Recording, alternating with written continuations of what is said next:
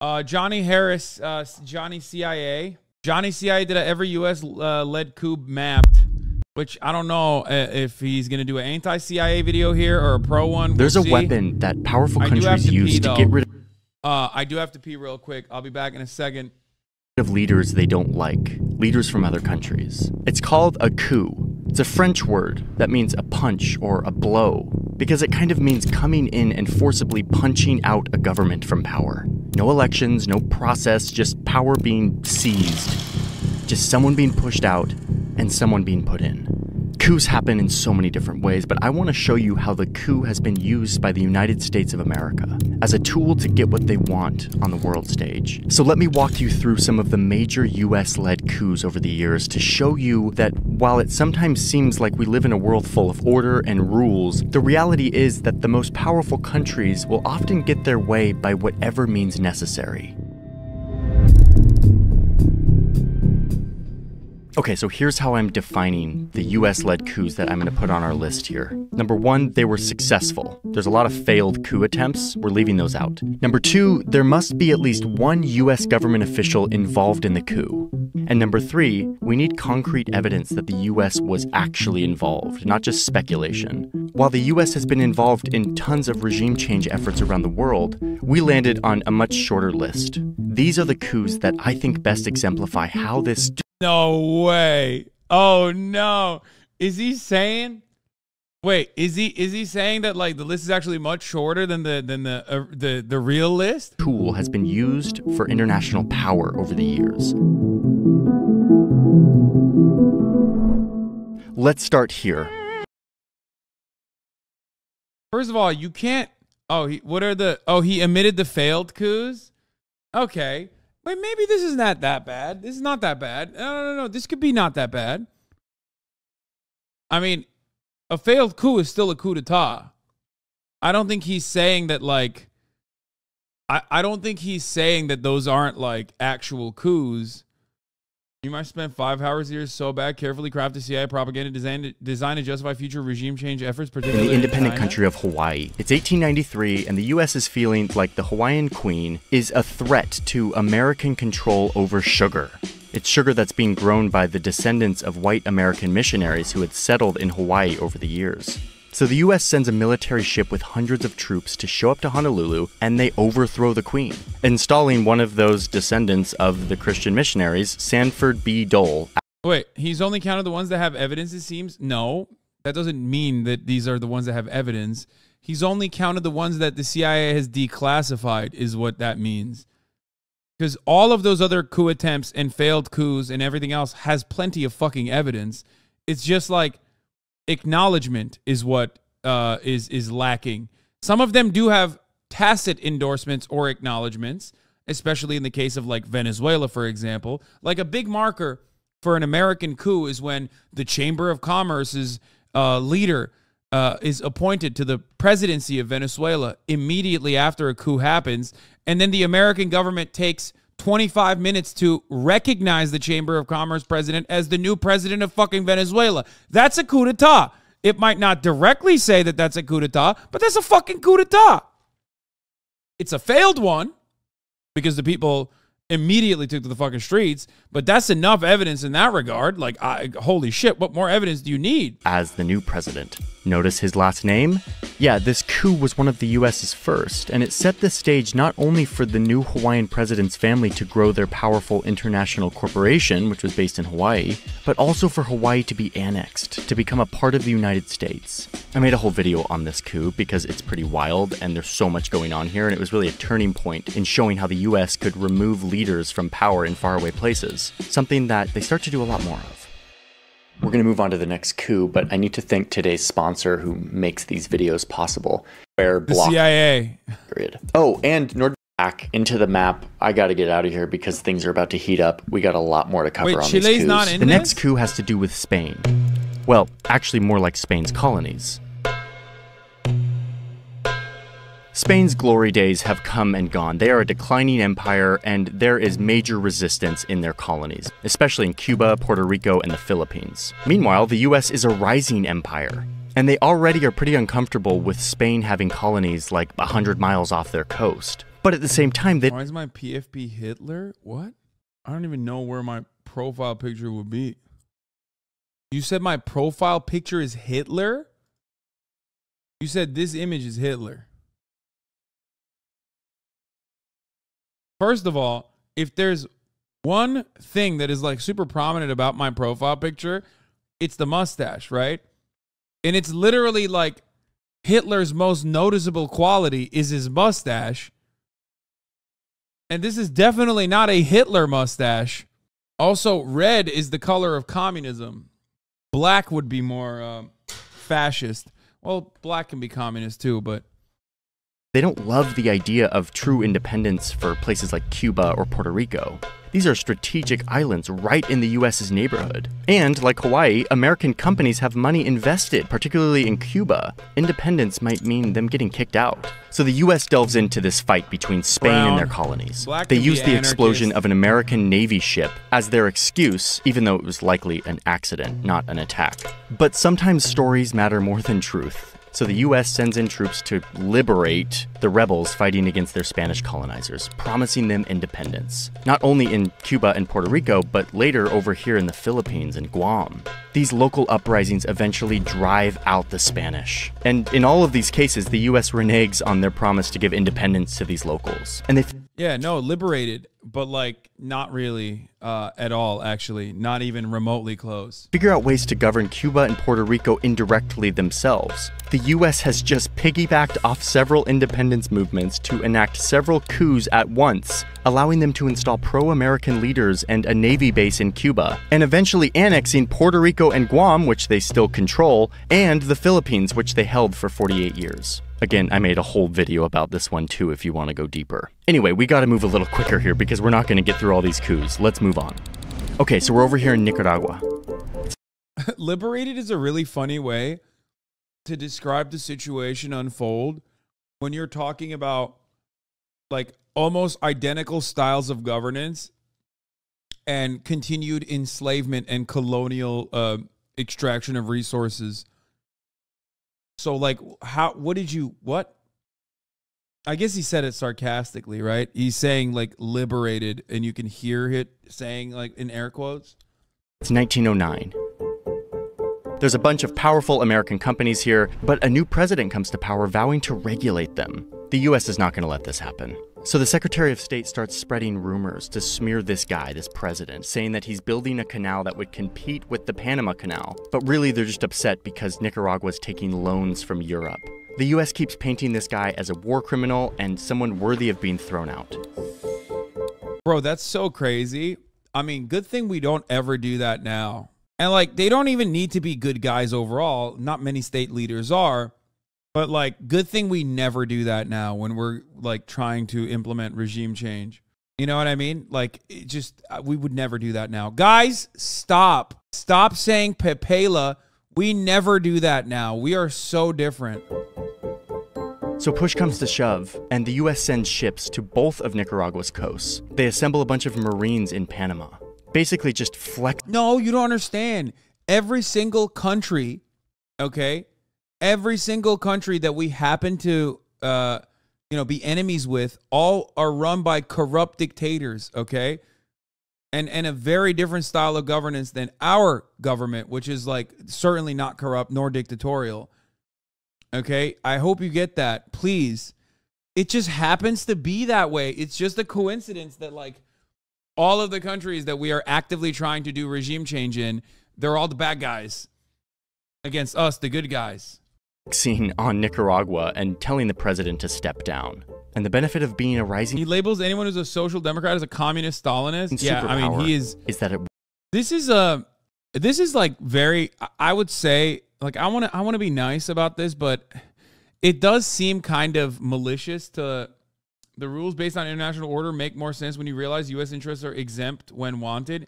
No, the rules based international order is created so that it can be utilized against the United States enemies. It's not that the U.S. is exempt; it's that they were written specifically so that you could that it, they could be weaponized. But yeah, I want to be nice to Johnny, who makes like very piffy videos, very clever editing. Uh, they're catchy, they're entertaining, uh, and and all that. But like, this is more insidious propaganda because it like on its face makes it seem like it's it's leftist critique against the CIA when in fact it's just literally like only talking about shit that the CIA recognizes and spinning it in a way that like the CIA also talks about. Like for example, us giving Stinger missiles to the Mujahideen at the time was very openly done, right? But it was not considered to be like uh how do I describe it? It was I mean we we gave weapons. We gave weapons, we funneled weapons into Afghanistan, okay? And we celebrated that concept because they were anti-Soviet uh, rebels, right? They were anti-Soviet rebels who just wanted to like free their country as Ronald Reagan said, like the founding fathers, right? But of course, when they became like, when some of those mujahideens uh, then turned into, uh, you know, the Taliban and numerous other groups, like all of a sudden it was like, oh, well, we did give them weapons, but like we had to. You know what I mean? Like there is always this whitewashing, this acknowledgement of the things that uh, have been declassified or even celebrated, like the Mujahideen were at the time. Um, Brave Mujahideen was never in Rambo. That's not what we're talking about, brother. I don't know why you keep fucking running with that line, okay? That's not I like it doesn't matter. Ronald Reagan did host them. That's not the point. Like you're kind of spoiling the vid for the chat. My point is he's these are this video is is cut like it's anti uh regime change, but it's done in a way where it basically kind of legitimizes the the uh, regime changes that happen. Do you see what I'm saying? Worked. Justifies he has no it. choice but to step down. And soon, a leader that the U.S. likes comes to power. The coup is complete, and really, this is the first of many instances of the U.S. meddling in Nicaragua. A few years later, the U.S. is back in the region for another coup in next door Honduras. This one was plotted by a band of private American citizens, and it follows a similar pattern. A new president comes to town, in this case directly inspired by Nicaragua's president, and he wants to take back control of the country from American businesses. In this case, we're talking about bananas. The banana companies were not going to let this happen. And it was mostly this guy, a banana businessman named Sam the Banana Man. He's not going to let this pesky president run his country. No. So he assembles his own militia. He literally buys a surplus Navy ship, loads it up with weapons, and starts his campaign to get this president out. He Shit was way cheaper back then, dude. You could just like you could just like self fund coup d'etats. Now the CIA is even incapable of like outsourcing it adequately in Venezuela, like what happened. in sails from New Orleans to the coast of Honduras, and he literally invades the country with like a private army. Wait, wh- where's the US government in all this? They also didn't like the political direction of Honduras either, so they just sort of stood back. Let this private invasion happen, and then at the critical moment, the US steps in to order a ceasefire, basically bullying the president to step down. He had no way forward, no defense, so he resigns. Yeah, they just stayed out of the way, huh? Where did they? How did they get uh, trained uh, infantrymen like that? I wonder. I mean, you can just always find them around weapons and and also, uh, you know, navy ships. It's it's certainly like it's just you know uh, what were the casualty numbers looking like too? Wait, where's the mention of the thousand people slaughtered? I mean, dude, places to stage and train just lying around, surplus Navy equipment lying around, weapons lying around. Dude, you can. The U.S. government certainly was not involved in this until the last second when they just like kind of bullied. They kind of bullied uh, the the government. and the banana man's leader of choice takes the presidency, giving the banana businessman land and a unique status to import anything he needs tax free. And, wait for it, he refunds him for all of the coup expenses using public Honduran money. This banana man literally overthrew the government and made Honduras pay for it. Wow. Okay, so let's move forward to the 50s, where the coup I love you, but you're being so incredibly uncharitable. This is a live video, but for no normie, this video becomes a more American useful actions. tool in the American toolkit. I mean, what you just what he just said is directly a coup d'état that is admitted to. Uh, eh, that he says the American government had like very little involvement in until like forcing a ceasefire. That's fucking bullshit. There's this new US agency dedicated to collecting and analyzing information from all over the world, meaning for spying. They call it the Central Intelligence Agency, the CIA, and it completely revolutionizes the art of the coup. Oh, and at this point, the US is now a full blown global superpower, no longer just looking in their own neighborhood, but rather at the whole world map, investing huge resources into fighting their global rival and its communist ideology. So this simultaneously greatly exaggerating the influence, scope, activities, uh, and involvements of the USSR in an effort to boost their, uh, you know, boost their need. You know, because like if there's no demand for it, you just got to make it up. You got to be like, dude, it's going crazy out there. They're doing mind control. They're spying on everybody while simultaneously uh, uh, constantly talking about how starving and how starved the population is and also actively recognizing that they were not starved at all and actually had like uh, you know a higher calorie diet than the American citizen at the time. But it's like literally everything and anything you've heard about the USSR has been filtered through CIA propaganda and Red Scare propaganda. This gets us to Iran, 1953, where Iran had Okay, just elected a mentioning new star politician, Mohammad Mossadegh. He rises to power believing that Iran must take back control of its most valuable natural resource, oil, which at the time was completely controlled by a British company called the Anglo-Iranian Oil Company. We know it today as BP. Mossadegh is done with this. Let's kick the British out and take back our oil. But like the US, Britain is not happy with Iranians trying to take back their resources. So they warn that if they do this, there will be consequences. Okay, facts. So the British catch a quick meeting with the CIA's Middle East guy who was passing through London, and they pitch him on this idea let's throw out Mossadegh. The CIA's like, okay, and they kind of sniff communist vibes on Mossadegh with this big desire to nationalize Iran's oil, or at least they tell themselves they do. So the CIA agrees, and they secretly send this guy to Iran. He's the Middle East bureau chief, Kermit Roosevelt. He's like in his 30s. Oh, and yes, he is the grandson of another big By the way, Mohammed Mossadegh is like a communist only because he wanted to nationalize the oil industry. Okay? But of course you can't do that because but then you're you're hurting British petroleum profit margins. Like those are British petroleum refineries that you're using. We we built those because we thought that we could just like keep stealing your oil and not giving you anything in return it's not like it, I, I wouldn't say he's like communist in any meaningful capacity okay guy, Teddy Roosevelt, who I have gone into in other videos. Roosevelt sneaks into Iran and is given a million taxpayer dollars to use, quote, in any way that would bring about the fall of Mossadegh. So now there's American CIA agents in Iran secretly trying to overthrow the government. And it's a rocky start at first with a bunch of failures. But they start using their money to get traction, bribing politicians, religious clerics, and other leaders to say divisive and controversial things about Mossadegh. They hire locals to stage attacks against religious leaders, making it look like they had been ordered to do so by Mossadegh. But really, they were just getting paid by the CIA to do this. And with enough time and money, they create an atmosphere of chaos and hostility and distrust among the public. Oh, and there's weapons. The CIA stashes enough weapons and explosives to support a quote 10,000 man guerrilla organization for six months, like just in case they need to like start a full yeah bro that kind of stuff certainly doesn't happen anymore. Like no color revolutions or anything like that. This is part of the reason why a lot of people i'll just say it like this. There's a reason why a lot of people there's a reason why i famously always say like if you are if you have anti-american sentiment when talking about like 98% of uh history and also uh whatever is going on in the world you're gonna be you're gonna be right 98% of the time.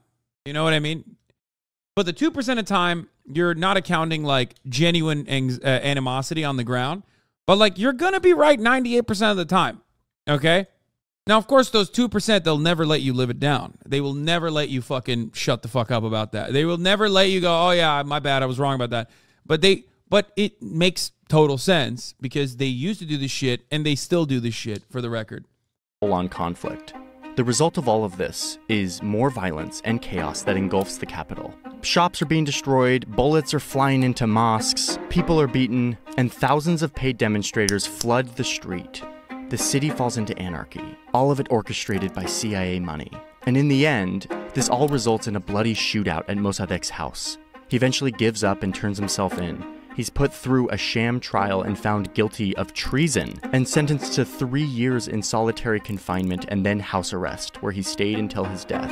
The previous ruler of Iran, Mohammad Reza Shah, which just means king, had fled the country. But now, with the democratically elected Mossadegh gone, and with the backing of the US and UK, he could charter a flight back into Iran and take control. The Shah crowns himself in a tradition which goes back 25 centuries. His title is King of Kings, and he becomes Emperor of his nation. While this is happening, the United States is doing this everywhere around the world, some unsuccessfully and some successfully, most of which is not being mentioned in this video. So if you're asking me, like, where is it happening right now? Like, can you give me an example? Literally everywhere. Okay. That does not change the reality that there might be on the ground legitimate resentment. That does not change the reality that some of the people might foolishly believe that, like, America has their best interests in heart. Kurdish people being one of the primary examples of this even though uh, Kurdish people at this stage perfectly recognize that they are just being utilized as a militia force and they are more valuable to U.S. State Department interests as like a roving uh, uh, a band of, of different militias that fight America's battles in the Middle East. Um, but everywhere, literally everywhere, everywhere, everywhere that you see uh, some level of like, um, like everywhere where there is uh, uh, any kind of, of political movement, whether it be uh, African nations, whether it be in Asia, whether it be in the Middle East, America has at least some of its tentacles involved. The US really came out on top here. They got what they wanted. They now have an American friendly dictator in a powerful country in the Middle East who is now welcoming American oil companies to get in on one of the largest oil reserves on earth. Like that's why, for example, Juan Guaido, you might not like Maduro. Okay, Maduro, you might not like him. You might uh, not consider him to be a good leader. But Juan Guaido, the first thing he tried to do to utilize way above the the rights and responsibility that the fucking Constitution had afforded him as like a potential interim period of presidency, immediately talked about privatizing oil refineries. Why? Why? Like, is that the, the most pressing matter? Is that is that what the Venezuelan people are yearning for? They're yearning for freedom by uh, you know, privatizing their oil refineries. That's that's what it was. No, that's it's the same shit. They do it all the time. They do it nonstop. Earth. Under the Shah, Iran becomes a brutal police state. He executed military officers, student leaders, anyone associated with Mossadegh. He set up a secret police force, and life was brutal. So brutal that in 1979, the frustration of Iranians burst forth in mass protests that ran the Shah out of office and replaced him with an inspiring new leader who would turn Iran into an Islamic republic, built in part off a foundation of resentment for the US having meddled in their country. I mean, this is 100%. This is what I talk about. I mean, it's like reductive, but this is what I mean. When I talk about like all of these Middle Eastern countries that you look at and you're like, what the fuck? They're living in a different time period. It's like, that wasn't the case for literally all of these countries, okay? The only reason why Turkey, well, I guess Turkey now is a little bit different, but the only reason why Turkey did not get impacted in a similar way was because it was a part of NATO and was allowed the United States to put fucking missile bases directed at the USSR. And even internally in Turkey, we had a fucking Cold War of our own. That literally that happened. That happened internally in Turkey too. Why the fuck were the Turkish communists the Turkish ultranationalists fighting against one another? Do you care to do you do you understand which side uh the the uh Turkish ultranationalists who was being armed in that in that fight? or who inevitably won, I guess. The United States of America, of course, was funding, arming, training, and allowing the ultranationalist Grey Wolves to operate. They did this in the entirety of Europe, too. One of the most famous instances being Gladio. They did it through NATO. It, for our allies, for our allies, we did it through NATO. For our enemies, we did it in ways like this. Okay? The Islamic Republic has held power ever since, and has morphed into the oppressive theocracy we know today, though maybe not for long. Like, why was there no network internally? Do you think the do you think the Iranian uh, population had no communists, had no revolutionary forces within it? Or were they eradicated successfully? Because time and time again, America always considered fascist reactionaries to be valuable allies, especially in the fight against communist revolutionaries, which they saw to be the real threat. Because communist revolutionaries, whenever they took power, would do shit like nationalize the oil industry, would do things that would undermine the authority that the IMF and the World Bank was trying to create on the third world.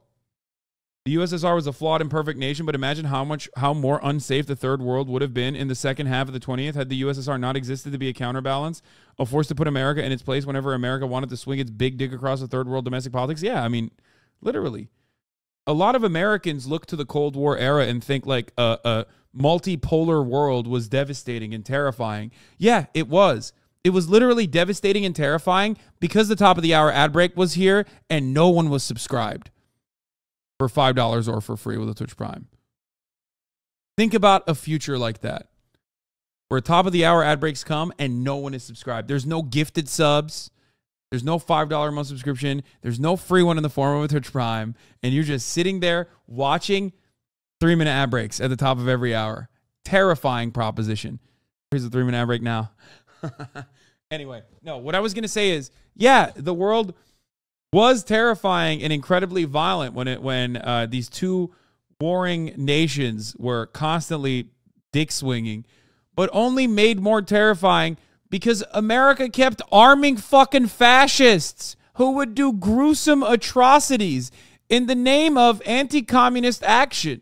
You know, not dissimilar to Nazi Germany if you want to think about it like domestically, you know? Capital owners sided with fascists in the lead up to World War II because they saw fascism as an adequate mechanism of control.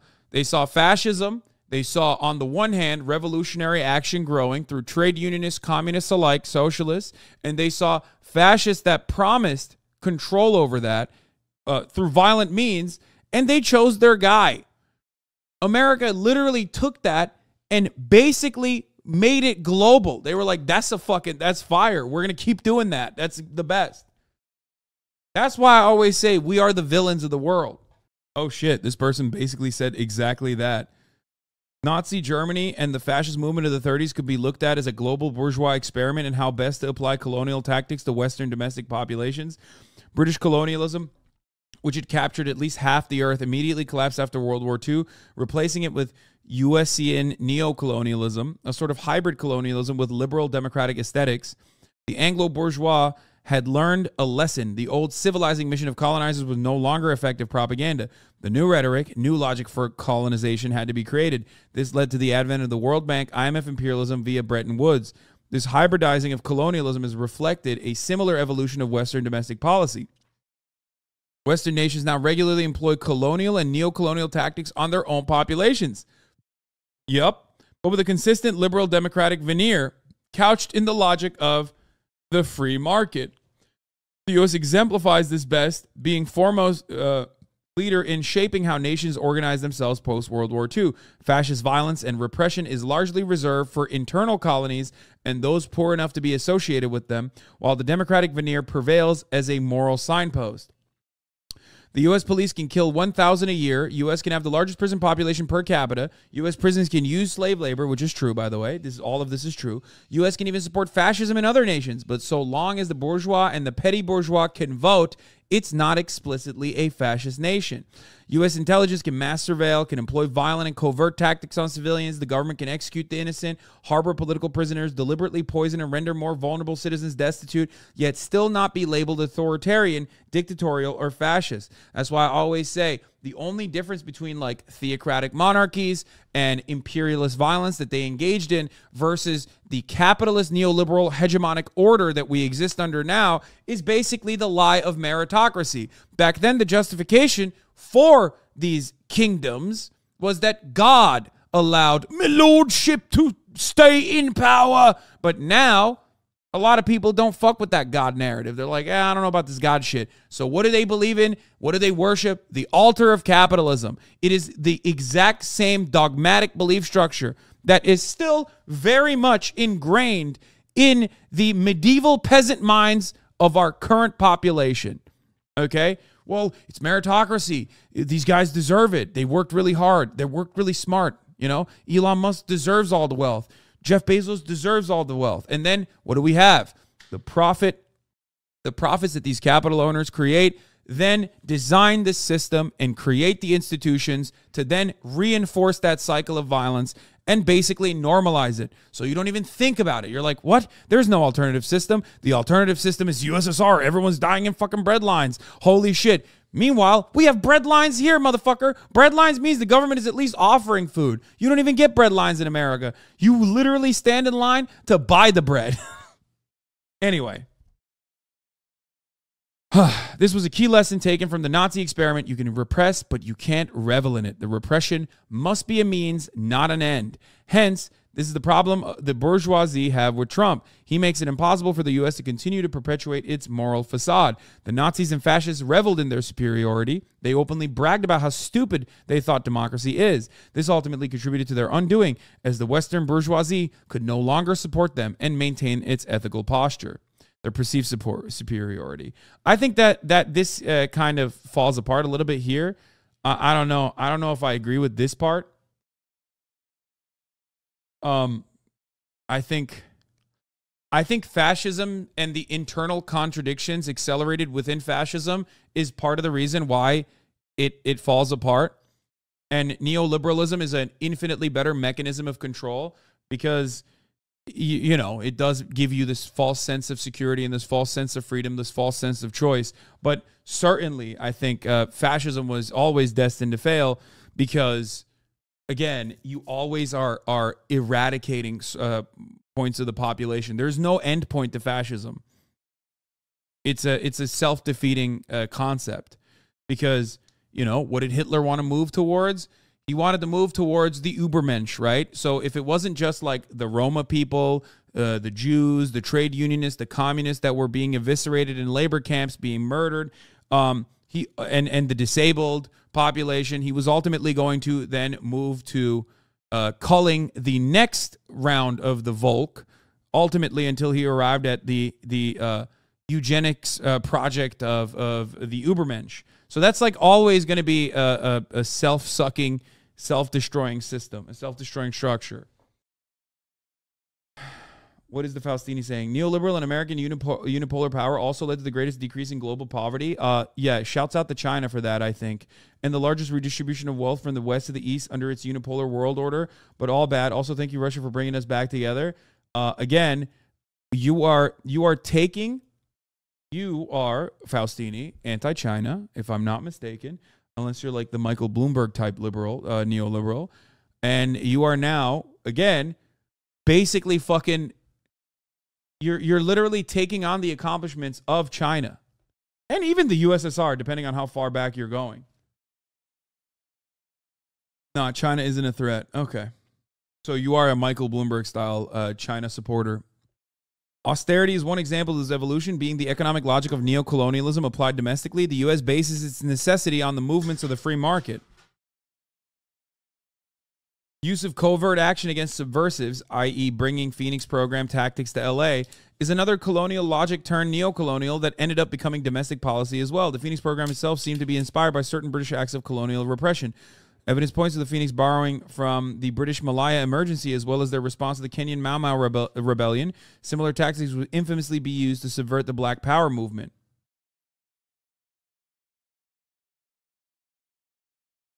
Block Faustini for your own mental health. Goddamn. What?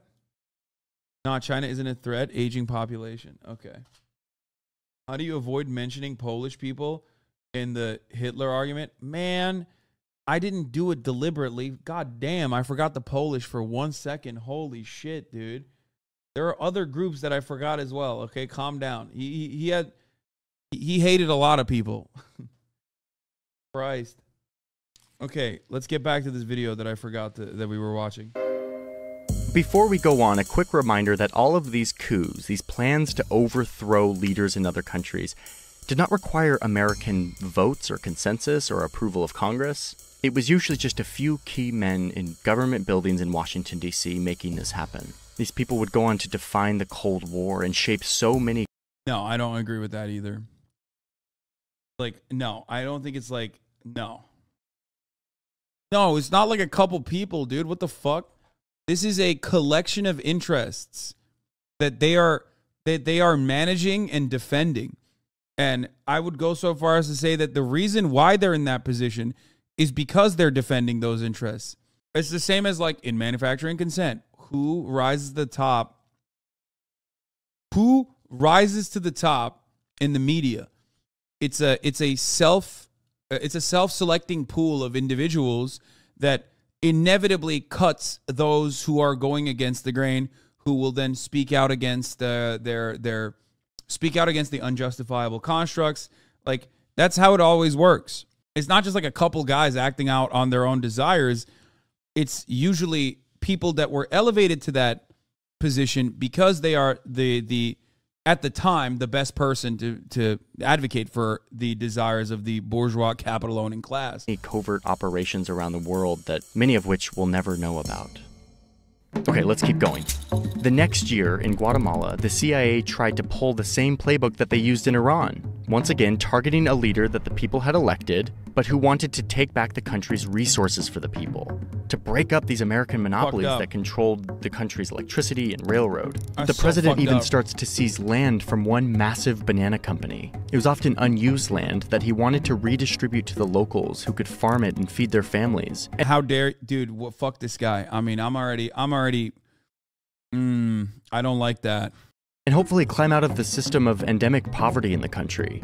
Once again, I made a whole video on this the geopolitics of bananas in Central America. But the fact is that the US decided that they had to defend the banana companies, or else more communist reforms would spread. So the US President and Secretary of State ordered an overthrow, and the CIA got right to work. The CIA hand selects a leader that they want to be in power. And then they start giving equipment and training to a bunch of Guatemalan exiles By the way, again, like, I, I, I don't think I. Okay, I'll, I'll say this much.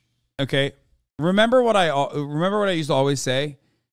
It's literally basic social democratic moves that a lot of these nations are making, and it's it's the way to look at it is like that Family Guy, uh, that Family Guy color blotter. You know what I mean? It's like it's social democracy and it's fine if it's a white European nation. It's completely a no no if it's a brown Latin American, South American, Central American, or uh, you know African or or uh, Middle Eastern nation. Then it's like it's communism. It can't be happening. We need to stop it. Like literally, these were nations that were that were prevented from I- I- emancipation, from prevented from utilizing their own natural their their own natural ah, their own natural resources every single time. and private soldiers. They set up a secret operation base on the outskirts of Miami. They start delivering weapons to the Panama Canal. But like the other coups, it can't just all be about weapons. They gotta own the information space. So they create a radio station that sounds like it's a local Guatemalan radio station, but really it's being operated out of a small town in Florida. And they start publishing fake news about an uprising, unrest, a rebellion. And then, at the same time, the fighters that the CIA had trained and armed invades Guatemala. Pilots start dropping bombs on fuel tanks and military posts and airports. But they weren't starting a full on war. I also want to mention one other thing for for everybody who is like looking at this and seeing that like the tactics have never changed and it's almost identical. This is literally the reason why a lot of countries that are not inside of the Western hegemonic power structure as like aligned nations have such rigorous information control. Okay. They saw this happen over and over again. This still is, they still try to implement this in Cuba regularly. Okay. But that is also part of the reason why a lot of these countries, including Cuba, including China, do such rigorous information control and do not allow dissemination of information in their countries that is not completely fucking, uh, you know, checked by the government. this is this is happening everywhere. Obviously, when our allies, when our aligned nations are doing it, they're doing it at their own behest because they're capitalists, they're allies. But that is precisely the reason why information control happens in these countries. I don't like it. I literally I live in America. I like the the freedom of information here. I like the the supposed freedoms for the most part. But like I like the the liberty that I have, right? But I certainly understand why other countries are more authoritarian when they are not completely inside of the the bosom of America, okay? The uh, when they're completely when they're outside of it, they have to engage in this because they don't want to fucking have coup d'etats. But the irony, of course, is that America will then look at that, point to it, and go, look at how authoritarian these countries are. And they are authoritarian, okay? Dude, literally can't say a good thing about America without a backhand dig law. I mean, dude, uh, what, what do you, whose channel are you on, brother? When America was at war, we implemented the Espionage Act, okay? We were fucking ruthless. We literally built concentration camps for Japanese people that were living here. Do you understand? So don't talk to me about fucking Cuba or China or any of these other fucking places when you know uh, uh, and and how authoritarian they are because they're constantly fucking you know under threat, under legitimate threat. Maybe not China as much, uh, especially because like the the economic power that they have is is is massive. But as far as like authoritarian means of controlling information, yeah, that's like that's going to They weren't trying to cause real damage. They wanted it to feel like a domestic uprising, like a war was on the horizon, to freak people out. And for many, it totally worked. They thought that this was a real uprising and had no idea that the CIA was behind it all. But the president knew what was up. He had messed with the USA, and now he's hearing about it. Military leaders in his circle are feeling the pressure from the big bully from the north, and they turn on him, and he eventually surrenders.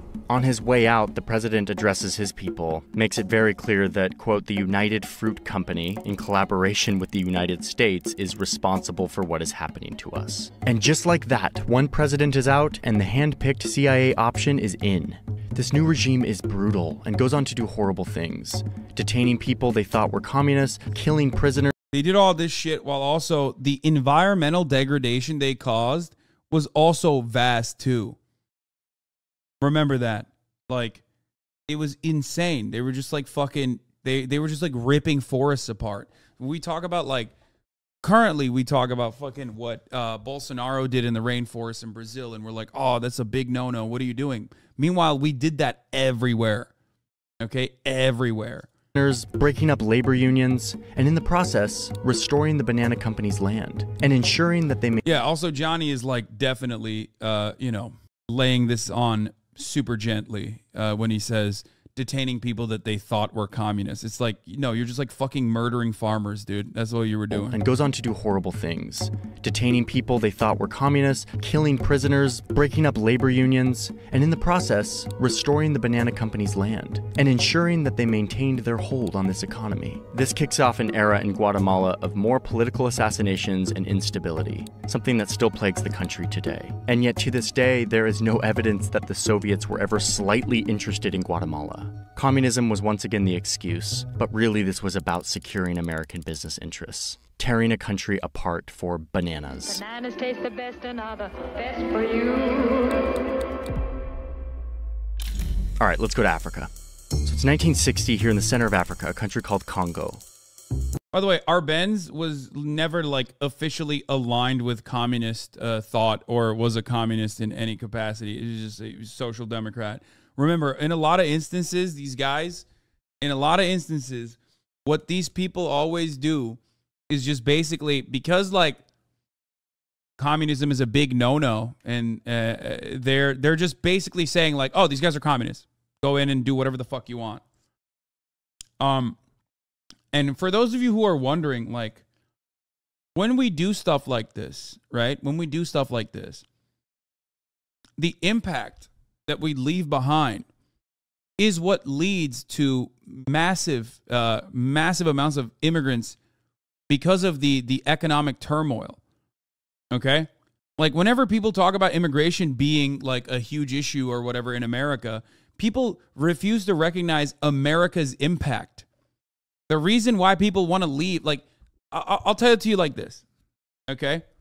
Chatters, you grew up in your hometown, your friends and your family live there. Why the fuck would you ever like leave your hometown if you didn't have to? I mean, some people have like big dreams, they want to go to the city, yada yada. That's not what I'm talking about you never you never want to like leave your friends and family and your culture behind to go somewhere else that doesn't even understand your language that is going to treat you like a fucking outsider that you can't even like legally enter half the fucking time you do that because you're literally forced to why are you forced because the economic devastation that we brought about is the leading cause for the instability in these countries and the lack of opportunities in those countries we go there, we build a couple railroads so we can like more efficiently fucking process their natural resources. We give none of them the fucking profits.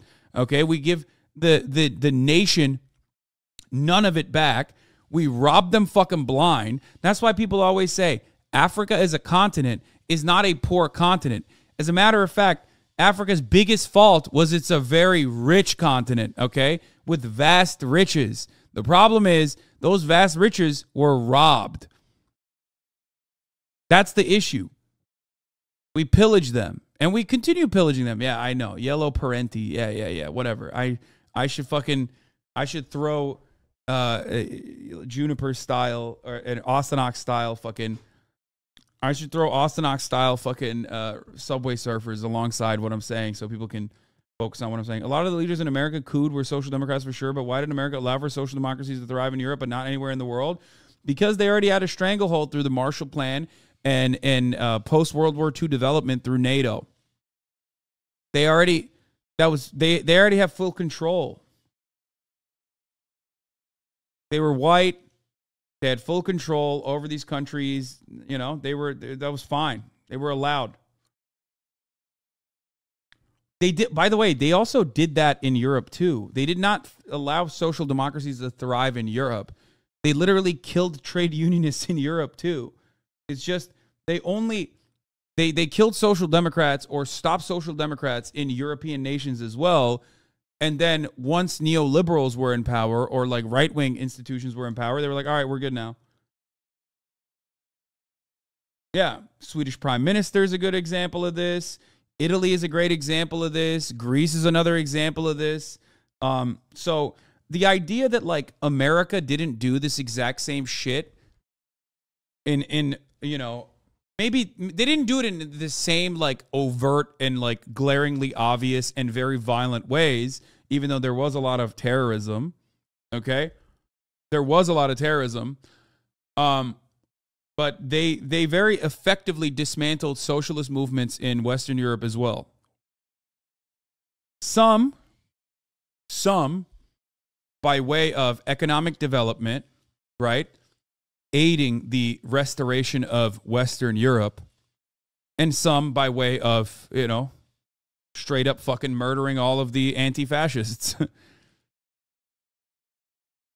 They just gained independence from Belgium, and they have an election. And this guy, Patrice Lumumba, wins, becomes the prime minister. But immediately, over in Washington, the communist alarm bells instantly start sounding off. Because we're in the middle of the Cold War, and Congo is a place full of tons of natural resources, including loads of uranium, the main ingredient for nuclear bombs. This is at a time when Americans are keeping gas masks next to their bed and have hordes of canned goods in their basements. And officials in Washington. a lot of this was also, again, like what he just uh, explained as far as like the fear of uh, all out like nuclear warfare, nuclear holocaust, that kind of thing was pretty much uh, legitimately uh, it was also agitated propaganda. It was basically not agitated propaganda, but it was just propaganda that like, you know, they had a lot of uh, you know, the USSR had a lot of weapons. There was a missile gap. They have too much. They can fucking destroy us on a moment's uh, notice. Like things that you're seeing, things that you are uh, seeing even now with like slowly but surely, subtly describing how much of a you know looming threat China is with its balloon gap, or you know the uh, the the increasing like agitation uh, between the United States and China all of that is is super super old school Cold War propaganda against the USSR. It, they they never America rarely ever updates its model. They just kind of do the exact same thing over and over again because it's like if it ain't broke, don't fix it, right? Well, it doesn't really work that well uh, lately, but you know. Washington can't risk Congo falling into the influence of the Soviet Union. So they start focusing on this prime minister. The CIA director called him, quote, an urgent and prime objective that should, quote, be a high priority of our covert action. So they pull a more political coup than the ones before. They start allying with Lumumba's political enemies and Congo's former colonizer Belgium. They bribe politicians, they fund protests and labor movements, and they circulate propaganda, similar ingredients to the previous coups. And when the moment is right, all these bribed politicians do what the CIA asked them to. They remove Lumumba from power, and the CIA is right there giving money and intelligence and advice to the new government. This political solution was actually not the first try. The CIA had tried to assassinate Lumumba in the past, but all of those attempts failed, which is why they turned to hijacking and manipulating Congolese politics, a brand new democracy, supporting the people who would eventually go on to put Lumumba in front of a Congolese and Belgian firing squad, making this effectively a political assassination, supported from an ocean away. And yet there's so much gray area in these coups. In this case, it's really tough to prove that the CIA's support was the key factor in Lumumba's assassination. It's debated to this day. An effective foreign sponsored coup works like this, operating in the shadows, fueling divisions, appealing to I don't understand. If you like recognize it, then why do you Dude, this is the second time he's done this. Um where it's like it's not why is this debatable? Like it, it- you facilitate the removal of of uh you facilitate the ousting and then the the execution comes along with that. Like what what do you mean? What what the fuck is that? It's like wait, is he gonna is he gonna talk about uh is he gonna talk about Gaddafi in this or no? Like does he does he say that like oh well who knows what happened to Gaddafi or if it's hard to it's hard to it's hard to determine why Gaddafi uh, or if the US was involved in the in the assassination of Gaddafi. the worst demons of the people on the ground through money, through influence. All right, let's move on to the Caribbean in the 1960s. Like There's a brutal dictator here in the Dominican Republic. I mean, this guy's really bad. He's rumored to feed his opponents to sharks. But anyway, what the US cares about is that there's fear that a communist revolution could happen at any moment. So the CIA sends weapons to a group of hitmen who go assassinate this guy. It ends up being an ambush and a car chase. They're successful in taking him out, ending his 31 year rule. And eventually, the US sends in forces to occupy the DR to make sure that a leftist candidate doesn't come to power. They restore order, and eventually, a US friendly candidate is elected. it's it's like the meme where it's like it, it it's like the meme of uh you know oh socialism never works which is why like uh, socialism never works uh you know when we involve ourselves with it. I always say the same thing. It's like if socialism doesn't work if it's like a fucking absolute failure if it's an if it's an genuine if it's a genuine failure why don't you just allow it to fail why do you always have to like uh you know do everything in your fucking power to to physically rip people for not even doing socialism by the way but just like socialization literacy programs nationalization of like certain key sectors you know liberties allowed uh that liberties that were given to to uh western european nations elected. Okay, so now we have to head over to Vietnam in 1963. And boy, this is a way bigger one than we have time for, but we're trying to focus on the coup element of this. Vietnam was divided in two between communist and pro Western governments. The US needs the South to stay on their side, but Washington starts to lose confidence in this guy, the South's leader. He's losing a grip on the country, and the US fears that communism will take over the whole country of Vietnam. So the CIA rolls up its sleeves. It's time for another coup. This time they focus on a South Vietnamese Oh, I forgot to mention one other thing. When we were talking about Europe, you actually posed a really interesting question in the chat. You were like, why was Europe allowed to have some of these like social democracies? I think another reason was proximity, other than like them being white nations overall, their proximity to the USSR played a key role here. I think that America wasn't as like aggressive uh, in the in the immediate aftermath of World War II uh, with respect to like immediately implementing uh, with the with respect to like implementing uh, uh, coups in the same way that they're doing this. And the USSR being the big bad scary guy wasn't actually a big bad scary guy because of its like weapons. It was a big bad scary guy because there were plenty of fucking communists that were still in these countries. And if America started imme- uh, openly fucking doing the same shit that they were doing in like all these other nations, uh, they they were worried that people would look to and could could very quickly get help from the USSR. These uh, trade unionists and and communists and and socialists alike. I think that was part of the reason why they were allowed basically to have more social democratic uh, liberties, and some of them were long standing too. You know what I mean? Like welfare systems that were uh, that welfare systems that were in in uh, that were experimented on even before uh, World War II. You know what I mean? Like they were just expanding on uh, pre-existing structures, and I think that's uh, part of the other thing too. Wait, is he saying the U.S. It was just the Congolese that were greedy and got tricked by the Americans. It's odd that he's not talking about this as an extension of colonialism. He really skimmed over the Belgian involvement in the Congo and didn't even mention the French in Vietnam. Yeah, you're absolutely correct. I was gonna men- I was gonna mention that with France. He said like South Vietnam is backed by Americans and North Vietnam is is uh, USSR. And it's like what happened before that is, you know, kind of important. I think. Um, this is this is a nation that was like fighting against uh, colonial superpowers. Anyway, I'm gonna roll this back real quick. We have to head over to Vietnam in 1963. Like one thing I mentioned, sometimes people get mad, but like Ho Chi Minh was uh was was fond of the founding fathers, Uncle Ho. He saw his battle of emancipation uh, uh, not dissimilar to the founding fathers against uh, uh, England. Like he literally, he he, he in a different world. I mean, obviously, wouldn't have it would not have happened, but different world. Who knows? Who knows what could have happened? He wasn't a marabou though. And boy, this is a way bigger one than we have time for, but we're trying to You focus on the shit, coup element dude? of this. Wait, what? Vietnam was divided in two between communists and pro-Western governments. What you think I'm lying?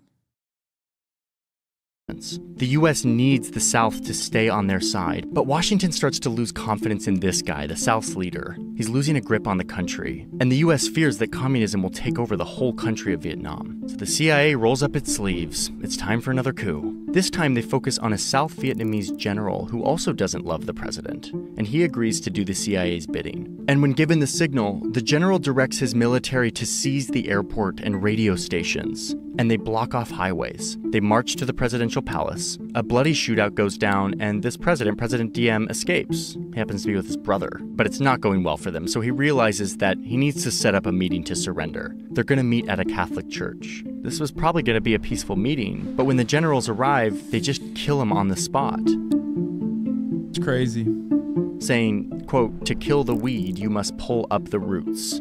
Meaning, in order to solve the problem, Diem must die. Exile was not enough. Now, the US actually didn't plan for this to happen. They didn't want to kill this guy. It was not an official order from Washington. But they made this coup happen. JFK is said to be really distraught about this. The first American Catholic president behind the coup that killed the first Vietnamese Catholic president.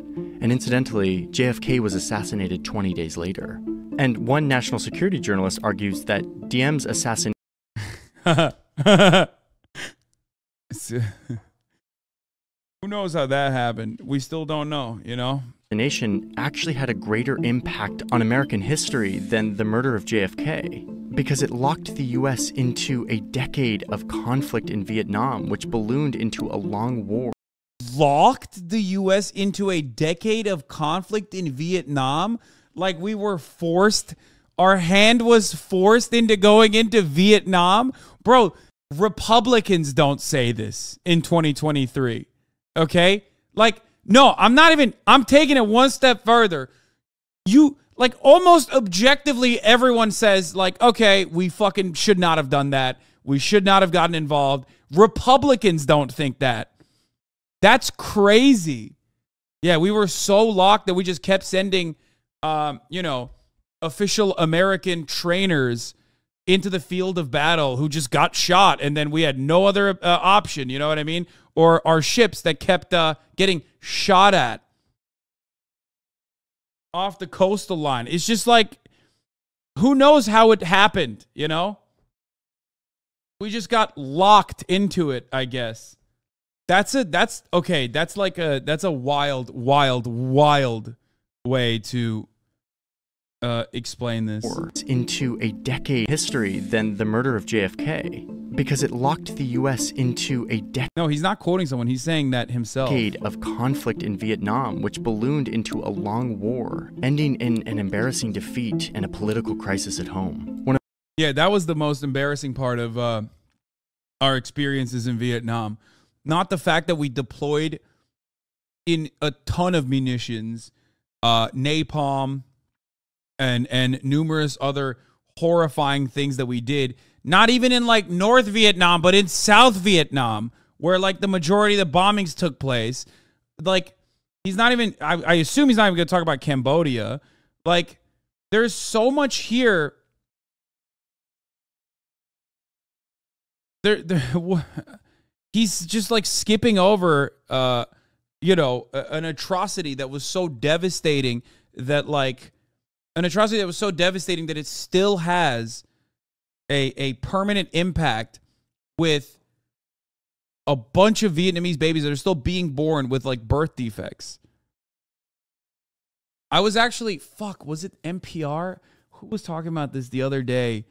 South Korea was also involved in Vietnam, and the I think the first ever uh, uh, payment for South Korean war crimes, uh, uh, like a like a court case, uh, there was a decision for the first time on a on like a, a South Korean military member engaging in war crimes against the civilian population. And what I found to be particularly strange about this, hold on, I'm going to give you guys the details here, okay? Because insane. Yeah, here it is. In a first ever, South Korea was ordered to compensate Vietnam War victim, right? This just happened. As a part of the ruling, Judge Park Jin-soo of the Seoul Central District Court ordered the government to pay Win $23,900 in compensation, saying what members of the 2nd Marine Brigade of South Korea did to her family clearly amounted to an illegal act. Now, what they did was, uh, you know, just wanton violence uh, and, and murder, uh, uh, gravely wounding uh, Win, uh, hold on. Win T Tan, 62, sued the South Korean government in 2020, saying that she lost five relatives and she and her brother were gravely wounded when South Korean Marines swept through Phong Nhi and Phong Nhat villages in central Vietnam on February 12, 1968, killing more than 70 villagers. Do you know what is interesting about that date? So this is this is a very interesting date. I want you to pay attention to it. February 12th, 1968, where the South Korean government acknowledged its atrocities against uh, villagers,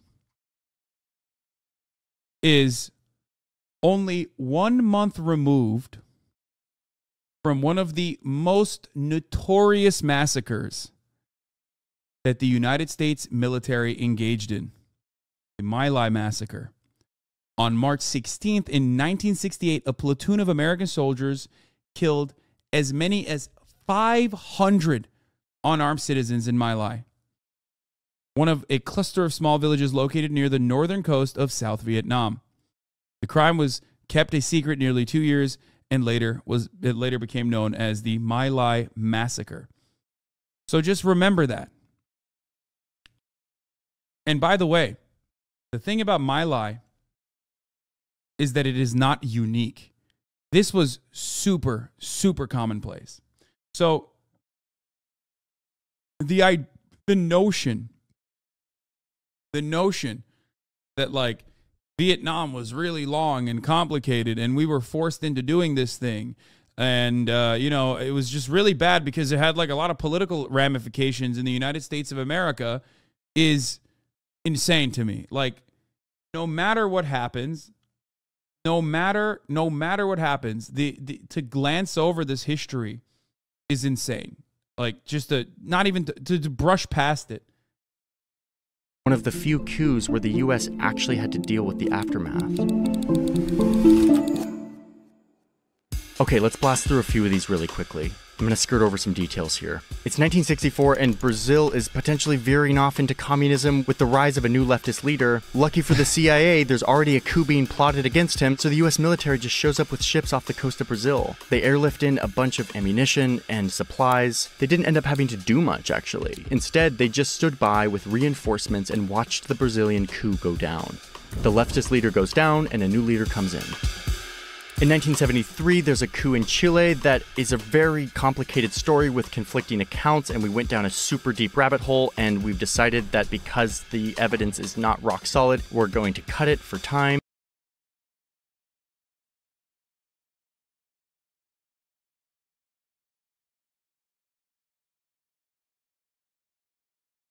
No. No. What? Bro, what?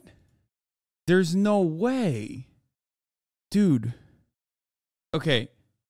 By his own metrics, by his own metrics of like what constitutes a coup d'etat, the fact that he just avoided talking about Chile is insane to me because there are other involvements that he mentioned that have the exact, maybe not even as much evidence as U.S. involvement in Chile. Like, he talked about Honduras and Guatemala that I would say Chile constitutes the exact if if we're if we use the exact same fucking metrics of what is declared a coup d'état, Chile absolutely is a a US CIA backed coup d'état. There is extensive documentation on it. Like it's not like a it, it's not like a oh man, this is like really confusing. Who knows what happened? I mean, here, there's also this. Um, in 2000, September 20th, 2000, the CIA acknowledged for the first time its extent of its deep involvement in Chile, where it dealt with coup plotters, false propagandists, and assassins. The agency planned to post a declassified report required by Congress on its website today that admits the CIA support for the 1970s kidnapping of Chile's top general for refusing to use the army to prevent the country's Congress from confirming the election of social, socialist Salvador Allende as president. The kidnapping failed, but General Rene Sch- uh, Schneider was shot and died two days later, the day Allende, Allende's election was confirmed. CIA admits prior knowledge of the plot that overthrew Allende three years later, but denies direct involvement. The report says that the agency had no idea that Allende would refuse safe passage with his palace under bombardment and apparently kill himself. He was found dead of gunshot wounds. I think he's skipping it because Allende cannot be spun in any negative fashion. He can't make the argument that he somehow deserved it. I mean, some of these other ones he didn't like really uh, spin in a. Uh, he didn't. He didn't necessarily spin those in a fucking negative way either. Yeah, here's the covert action in Chile staff report if you would like to uh, look at it. It's extensive documentation that that shows our involve our level of involvement in Chile. Would you rather he didn't make a video highlighting U.S. foreign meddling on a video briefly mentioning the scale of it? Personally, I think that highlighting it in general is a good thing. More people will read about it, etc. Um, I mean, I think that uh, covering it uh, by at least saying briefly, just saying like, you know, we did horrific things there would be nice. But also on top of that, uh, I mean, this part is like completely unacceptable in my opinion. And we've decided that because the evidence is not rock solid, we're going to cut it for time. But definitely some crazy shit went down. I'm not saying it didn't. Okay, we're back in Africa, and it's the 80s, and over here in Libya, the dictator Muammar Gaddafi was making lots of trouble in the region, funding terrorist groups and working to expand his influence all over the region. For the record, some of these leaders, like uh, you know Allende, even though he had some, you know, I guess by 2023 liberal standards, problematic takes about certain things. Uh, one thing I have to mention to you is that none of these leaders are perfect. Okay, no one is. It's it's almost it's virtually impossible to be perfect, especially if you're fighting against like a brutal dictator. Uh, when you're trying to uh, when you are trying to you know gain independence, fight a revolutionary war, whatever. I mean, there are some. Um, there are some that he doesn't really mention all that much. Um, but as far as like Gaddafi, yeah, he's a fucking freak. Okay, he did some crazy shit. But ultimately, um, what I would, where I would place him is just like a nation that was definitely better off with Gaddafi than uh, without him. Then he gets a call from his neighbor Chad asking for help against a rebellion. Gaddafi eagerly sends 4,000 troops to occupy a huge part of the country and makes friends with the new president by helping him exile his rival. And soon Gaddafi's getting greedy and threatening to merge Chad into Libya. The US is not into this. So Ronald Reagan fires up the well oiled coup machine, launching a covert war, sending weapons and cash to rebels in Chad, and supporting that political opponent who was ousted, helping him fight back. And it works. The president of Chad has to flee, and the US backed and supported leader comes to power. And now there's a conflict, and the CIA continues arming the war even after this guy is in office. The new US backed leader rules brutally for eight years until he's eventually overthrown by a military officer, and in 2013 he was charged with crimes against humanity, torture, and war crimes. Okay, now let's go to this little island in 1983. It's communism again, and the US sends 2,000 troops to invade this small remote island and remove their communist leader. They didn't really know much about this small island, and they literally had to use tourism maps to plan their invasion. Anyway, American forces move in, overwhelm the Grenadian fighters who happen to be joined by their Cuban allies. The government collapses, and the US friendly leader comes to power. Okay, back down to Central America. It's 1989, and we're here in Panama, where the US has control of a very important canal. And luckily, the Panamanian dictator has been very friendly to American interests. But the US starts losing confidence in this guy, wondering if he's really the best choice, ensuring the US maintain easy access to their vital canal. Oh, and it didn't help that this guy was indicted in Florida on drug trafficking and money laundering charges. We gotta get. Wait, is Iran Contra not a part of this? Like, did he just not have time? Or, I mean, I guess it's not a. Get him out. But the straw that broke the camel's back for this guy was when Panamanian troops killed an unarmed American soldier in Panama City. The US is done with this guy, so they invade Panama with 27,000 troops. Panama's military is crushed, and the dictator is eventually arrested and sentenced to 40 years in prison. And the US ensures access to its canal after all.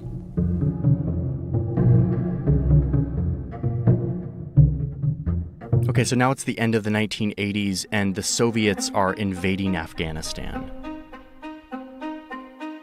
And are meeting resistance from a bunch of fighters from all over the world who have come to Afghanistan to fight back against the Soviet occupation, many of them with fundamentalist religious motivations. But the US doesn't care about their motivation. They just care that they're willing to fight against the Soviets and the Soviets' puppet, the Afghan president. And it totally works. This part is not even true. Okay, out of all of the fucking people that they're talking about, the one instance where they like actually point to a person who like would at the very least like consider them to be fucking con- consider themselves to be communists, despite despite the fact that the USSR also thought that he was uh, not the greatest. Okay, uh, not the best.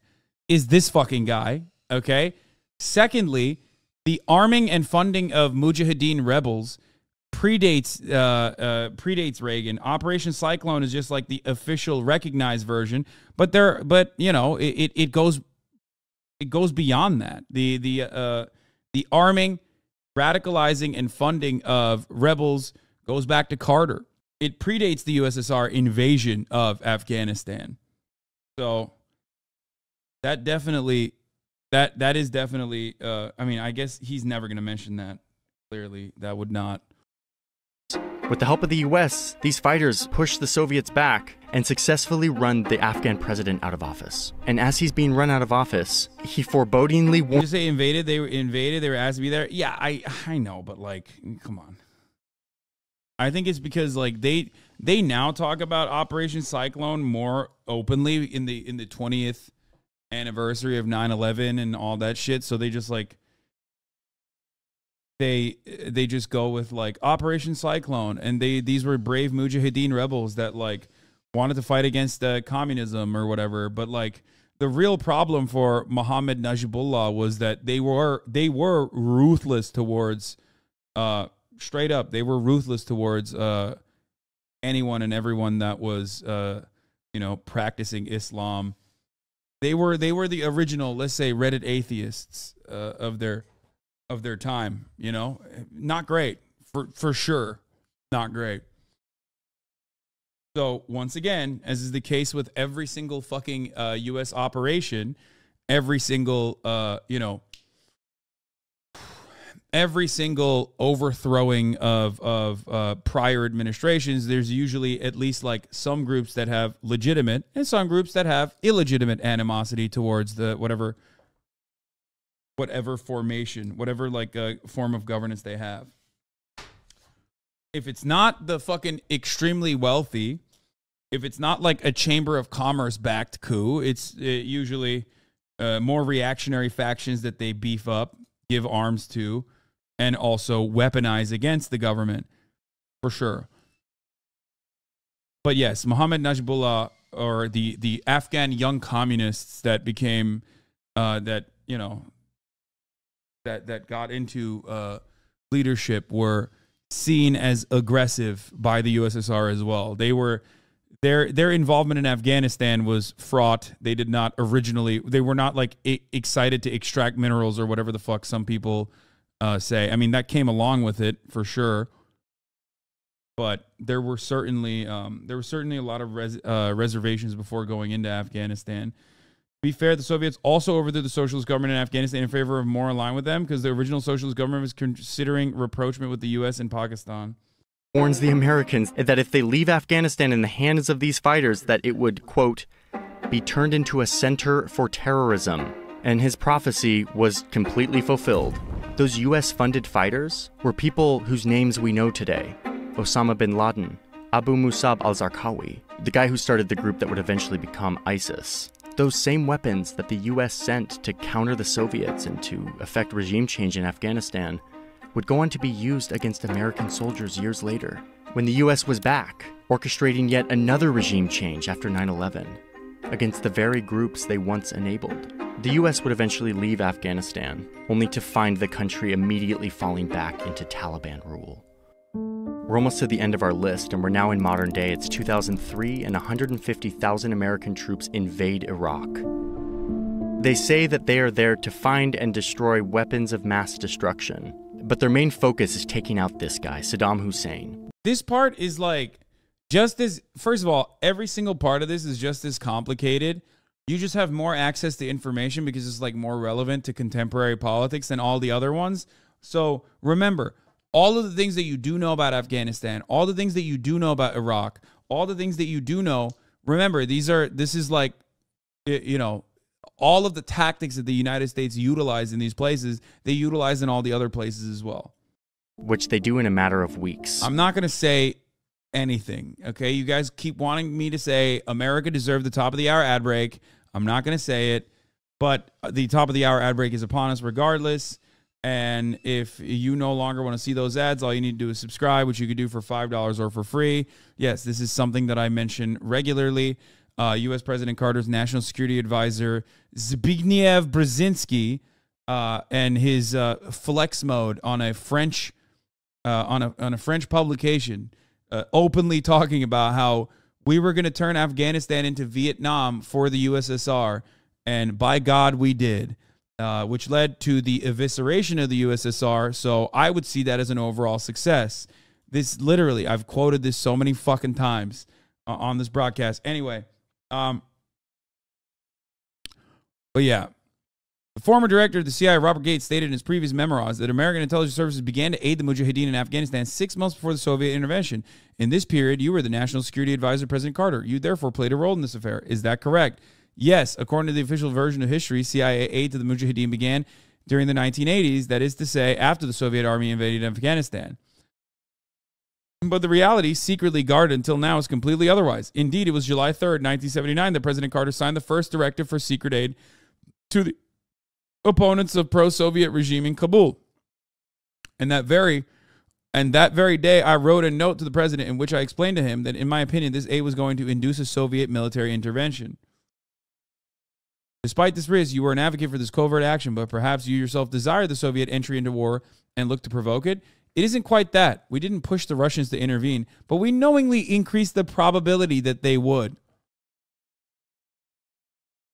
When the Soviets justified their intervention by asserting that they intended to fight against the secret involvement of the United States in Afghanistan, people didn't believe them. However, there was a basis of truth. You don't regret anything today? Forget what? That secret operation was an excellent idea. It had the effect of drawing the Russians into the Afghan trap. And you want me to regret it? The day the Soviets officially crossed the border, I wrote to President Carter. We now have the opportunity of giving to the USSR its Vietnam War. Indeed, for almost 10 years, Moscow had to carry on a war unsupportable by the government, a conflict that brought about the demoralization and finally the breakup of the Soviet Empire. And neither do you regret having supported the Islamic fundamentalism, having given arms and advice to future terrorists. What is most important to the history of the world? The Taliban or the collapse of the Soviet Empire? Some stirred up Muslims or the liberation of Central Europe and the end of the Cold War. You know, this would never happen again. We would never do that. So please stop saying we did that. Please. Yeah, Mika from Morning. Is it is that real? Is this actually uh, Mika from Morning Joe's dad? That's crazy. Anyway, um, I forgot to run the hour, uh, top of the hour ad break. By the way, after saying I was gonna run it some stirred up Muslims, but it has been said and repeated Islamic fundamentalism represents a world menace today. Nonsense. It is said that the West had a global policy in regard to Islam. That is stupid. There isn't a global Islam. Look at Islam in a, rational manner and without demagoguery or emotion. It is the leading religion of the world with 1.5 billion followers. But what is there in common among Saudi Arabian fundamentalism, moderate Morocco, Pakistan militarism, Egyptian pro Western and Central Asian secularism, nothing more than what unites the Christian countries. Kind of fucked up. He didn't mention list CIA client states. Yeah, but like he didn't mention Turkey, which is kind of messed up, I think. Anyway, um, you want him to mention Turkey? I'm just saying, like, we always like to be at the table. Fun fact Edward Shevardnadze, the foreign minister of the USSR at the time, also the second president of Georgia, was responsible for forcing Najibullah to stay in Afghanistan as well as the USSR staying in Afghanistan for so long. He might literally be responsible for how Afghanistan is today. Central Asian secularism, Turkey, yeah. Okay. Now let's get to Saddam. It's enabled. The US would eventually leave Afghanistan, only to find the country immediately falling back into Taliban rule. We're almost to the end of our list, and we're now in modern day. It's His son Mika's brother is our ambassador to Poland. What a wonderful mark the Brzezinskis have left in our in our uh, politics, dude. That's so sick. Mika, Mark, even some chatter said he was based. Some people really hate Islam. Yeah, bro. I wonder why. Of course they fucking hate Islam. They grew up in America in a post nine they they had their adolescence in a post 9/11 America. The fact that they're like I'm shocked that it took 20 years for Americans to like no longer openly want to fucking murder Muslim people on the streets. Like it, it's one thing that Matt Christman said when a Sunni Muslim was running on uh, on the Republican ticket okay, against John Fetterman, Dr. Oz, the fact that there were no like Islamophobic questioning, no no mentions of Islamophobic sentiment in that process is wild to me. Okay? They just kicked Ilhan off of committees. Yes, of course. That still exists. But you're crazy if you think that that is like the fact that Ilhan Omar is on a fucking the foreign affairs committee is my proof that like she was on a committee to begin with is proof that like we have you know we have moved beyond that uh that style of politics like people don't consider people don't necessarily consider uh, you know Islam to be the same kind of threat it once was. That's why there's so much hidden and uh, sometimes open animosity, even from a liberal perspective. Because remember, just like with anti-blackness, which is a core value of you know a, a fundamental of like American societal development. Okay.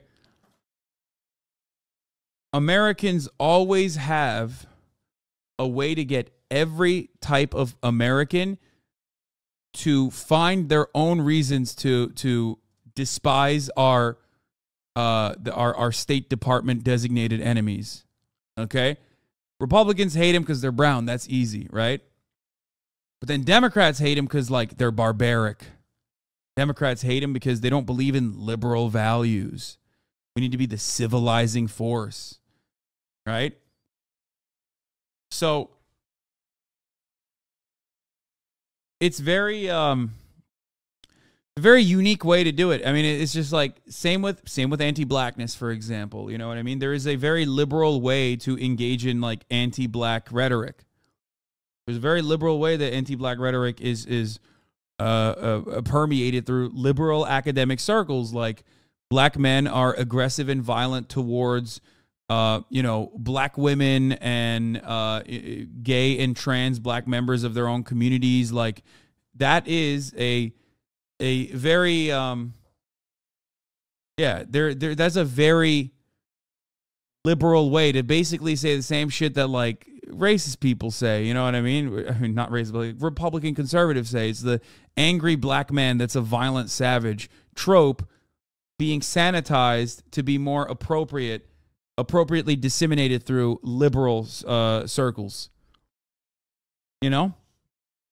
The reason why I'm mentioning that is because the reason why I'm mentioning that is because like the same the same exact thing can happen for uh, the same exact thing can happen for America's common enemies. America waged a war against Islam for a very long time. How do you make, how do you market that war? Or at least people who would otherwise be like doves and, you know, anti war activists. How do you get those guys to also be on board? Well, you tell them, like, you tell them Muslims are uh, anti gay. They're throwing gay people off buildings, you know? They're they're fucking they're backwards. They they mistreat women, that sort of thing. That's how you do it. Which is why I am again shocked that like they've kind of dropped that uh they kind of dropped that that like that strategy has like that strategy is like not something that they apply as much anymore. It's 2003 and 150,000 American troops invade Iraq. They say that they are there to find and destroy weapons of mass destruction. But their main focus is taking out this guy, Saddam Hussein, which they do in a matter of weeks. Saddam fleeing into hiding, and President Bush declaring mission accomplished, establishing an American friendly government in Iraq, creating once again a negative byproduct by alienating huge swaths of the Iraqi people and army who form a bunch of anti American rebel groups that go on to fight against the American occupation some morphing into groups like ISIS who wreak all kinds of havoc on the region to this day. Once again, I made a whole video about this topic, go check it out. Iraq remains a place of deep political instability. Trust in government is extremely low. And the question of how and why we did this expensive, horrific, destructive coup is still something that there aren't really good answers to. Again, you can go watch my video for more on. Yeah, what? No, there is, man. What the fuck? it's not even just oil, Afghanistan opium and and you know minerals, but like no, every single thing that he's mentioning in many ways is not just about like destroying communism. It's also about uh, a a uh, industry that was growing permanently, especially accelerated after Eisenhower, that basically became our most prominent and sole industry the military industrial complex. That's it. Like that's we don't need to literally fucking we don't need to like you know have a good reason or natural resources that we must extract from these countries half the fucking time anymore because like We have this machine that demands blood. First, we give the weapons, then we use our new weapons against the old weapons that we gave to the fucking area. That's it. on that. And this gets us to the final coup on our list. It's 2011 during Bro, I'm Kurdish. When I went there as a child, I was 12, 13 years old. Uh, it was the time Saddam was just taking Americans were there like shit, ta- taking control of all the oil places. The only ministry that did not fucking get eviscerated in the American invasion of Iraq was the Ministry of Energy. That's it. Like that's that's it. That that's all you fucking need to know in that one. You know what I mean? During a wave of protests spreading throughout this region, trying to take down all these strongmen dictators, one of which was this guy, Muammar Gaddafi, the same Gaddafi we were talking about earlier who was like taking over Chad. He's still here and he's still a very horrible dude. And there's worry that he's going to potentially massacre all of these pro democracy protesters. Yeah. So the US feels like it must get involved. Bro, come on. How can you fucking seriously say this, bro? How can you seriously do an entire video on on coup d'etats that we have like facilitated? Okay. How can we how can you look at that and then be like the US always found a way to, you know, drum up support the U.S. always found a way to drum up support with when, uh, you know, inside of like uh, reactionary forces within the country, blah blah blah, always. And then when it comes to Libya, the closer you get to like modern day, the more his narrative is just like, yeah, these were pro democracy people that like he was trying to fucking execute because they just wanted to do uh, democracy. I think that's why they were, you know, that's that's what the fuck was happening. It's just like his hatred for democracy overtook, and America loves democracy in my video where I talk about all of the instances where America has like overthrown democratically elected leaders. Involved to save these all of these pro-democracy protesters. So the US feels like it must get involved to save these protesters. They rally their NATO allies That statement in and of itself is like gross, dude. The US felt like it had to be involved. The US felt like it needed to be involved because they wanted to save protesters. What the fuck? What's NATO doing there? Yeah, what's going on there? Lies to help them. But at some point the mission Wait, what do you mean? That's like that's a that's a guys. NATO is a defensive force. You guys surely surely are not going to make the argument that NATO was in, was being weaponized as an offensive force again. NATO is simply a defensive force. That surely would never happen. Stop. I guess their their uh their never ending love for their never ending love for uh, democracy led them to you know do a no fly zone and and send missiles he's not doing an ironic he's not doing an ironic voice he fucking means this switches to total regime change. We don't all right hold on hold on allies to help. Feels like it must get involved to save these protesters. They rally their NATO allies to help them. But at some point, bro that's crazy he literally said these guys were forced these guys were forced uh you know gaddafi forced their hand gaddafi forced their fucking hand into uh gaddafi forced their hand into fucking uh you know by attacking de- democracy protesters and then the mission somehow switched they went in to save people and the mission somehow switched point the mission switches to total regime change. just like yeah just like we were locked into just like we were locked into uh vietnam We don't know exactly how this happened. Only yeah we don't know how that that's crazy Only the people in the room do. But is it surprising? We've seen this long arc of the US using the coup as a force for getting their way in an international conflict. It's a tried and true tool in the American foreign policy toolkit. So it's not surprising that a coup becomes a solution during these difficult decision making processes. libya had the highest score on the human development index before we attacked. It now has open air slave markets and a collapsed economy. European and american oil companies have new access to oil contracts though. Don't worry bro. Erdogan's gonna save libya okay leaked Hillary Clinton email reve- uh, revealed NATO killed Gaddafi to stop the formation of a United States of Africa. What on what? I don't know if this is.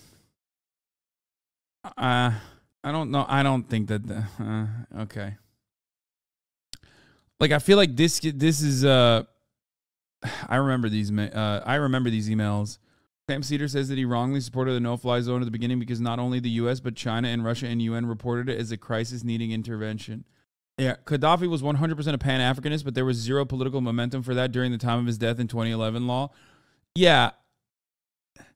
The thing the thing about Gaddafi is that like he is a bit of an enigma, okay? I, I'll just say it like that. There is like there's not a lot of consistent principles. A lot of people try to bring it up and and make it seem like he had a lot of um like he had a lot of like you know genuine interest that work. Is it. He did some good things uh but i don't think that like I, I just don't i don't think that he was uh you know all too concerned with uh genuinely creating uh, a, a, a African Union, a United Nation of uh, United Nations of Africa. You know what I mean? None of which, of course, uh, deserves the U.S. involvement and the subsequent, uh, you know, ass fucking that he got from a bayonet on camera, which Hillary Clinton laughed about. Um, but also on top of that, more importantly than Gaddafi as a person, uh, who you know did some very interesting and sometimes very fucked up shit. Uh, the people of Libya did not deserve the the aftermath of uh, this involvement. Anyway, I, I don't think that this was a this constituted a valid enough threat uh, to America. So anyway, the target becomes. Gaddafi, and now NATO drones are firing missiles at his convoy, and he eventually gets captured and gets killed on the spot. Libya has been in chaos ever since, but it's not like it was a great place under Gaddafi. And once again, it objectively was a better place under Gaddafi. That is an insane thing to state. You're literally comparing at least a developed nation state. What the fuck? That is an insane fucking assessment, dude. Again, Johnny, liberal, I love the CIA Harris, straight up lapping the Republican Party's assessment on the situation. Like he is he is outright winging the Republicans on this matter. Like even Republicans who are like, yeah, I don't really give a fuck, at least because of Clinton's involvement, say like, look at Libya, there's open slave markets. Johnny Harris is more to the right than like fucking neocons, dude. Holy shit.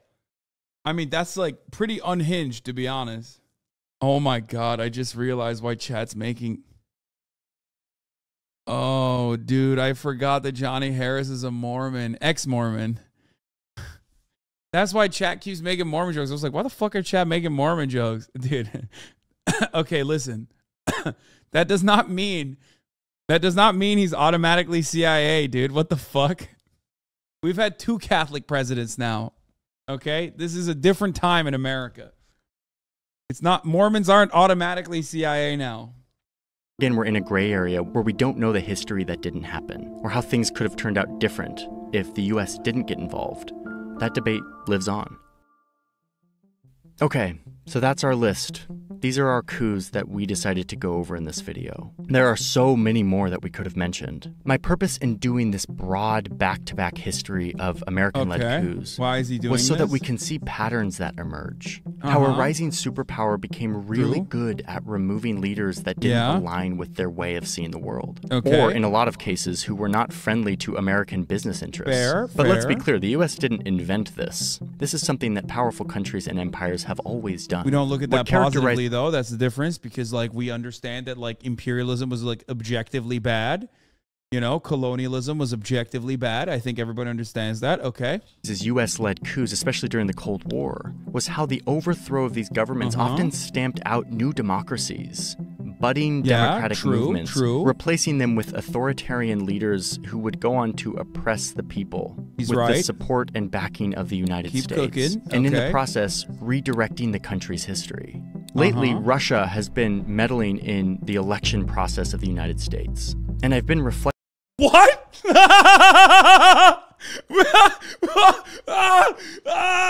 no! No! He did not! No! Bro, it's so weird that at no point did Johnny Harris say, like, uh, you know, the United States did Facebook ads in in fucking Chile. Like that was it almost feels like uh, you know, arming and funding rebel groups, reactionary, fascist, violent, genocidal rebel groups who then execute the leader of the state that was like democratically elected versus like Facebook ads that they bought using American companies to to run misinformation campaigns like hold on reflecting on my feelings towards that, the violation of having an external power, sowing doubt and polarization and fear in my own democracy, in my own society. It feels like Russia set up Radio Free Florida. did America not do this in Russia with Gorbachev? America did this with everyone and still continues to do it. If you see a Radio Free, that is like Voice of America, Radio Free Ukraine, Radio Free whatever the fuck. Like that's literally not even secret. Like it's just openly. It's just basically openly fucking funded CIA propaganda. That that extent. That's literally.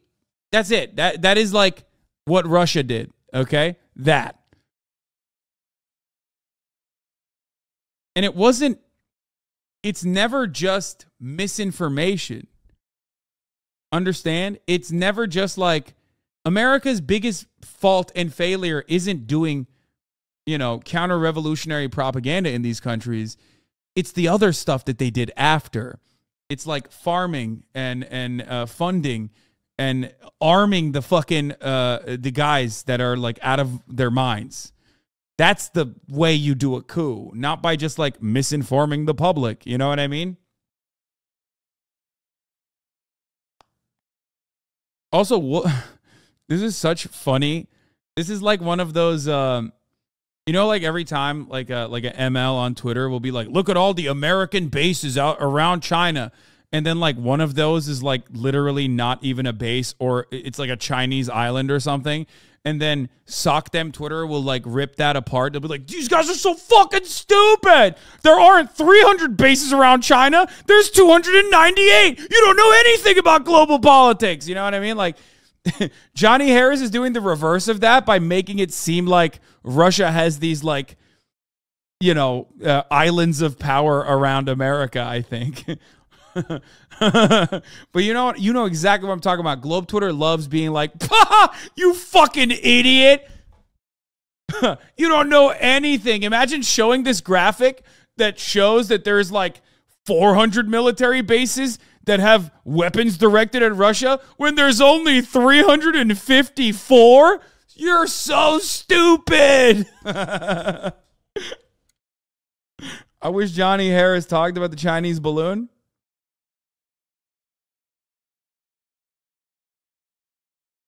Anyway, Ontario, the greatest hub of Russian power. Such a violation. And it is. This is giving me just a tiny taste of what it feels like to have an outside power pulling. What?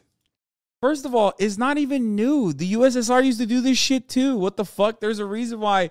There's a reason why MLK and every other black liberation movement was not just put down because they were like fucking, uh, you know, black people trying to uh, uh gain civil liberties, but also because they were communists, right? Like, yeah, the USSR did agitative propaganda. That is what it's called. It's called agitprop. Okay. Yeah, of course they did that. What the fuck? That's never, that's a permanent fixture of society. That's like what warring nations or what, uh, you know, uh, countries do. It doesn't even have to have like uh, some, some, you know, ideological underpinning. Russia now absolutely does that for both sides. Literally, like RT is a perfect example. Is if you look at if you look at Russia today, they'll have programming that at, at like 5 p.m. is like America KKK uh, is an imperialist warring nation and we must abolish white supremacy in the United States as it is a global superpower funding white supremacy. And then at 5:30 they're like and at 5:30 they're like, "You know the homosexuals in America are degenerate perverts and must be eradicated at all costs." It's like they do that. They don't give a shit. They literally have no they have no like uh they, have no genuine ideological reason. They just want to like cause chaos. Okay? And that's nothing. America does that too with ideological reasoning, uh, which is pro capitalist for the most part. I'm literally the Twitter ML in the scenario you described.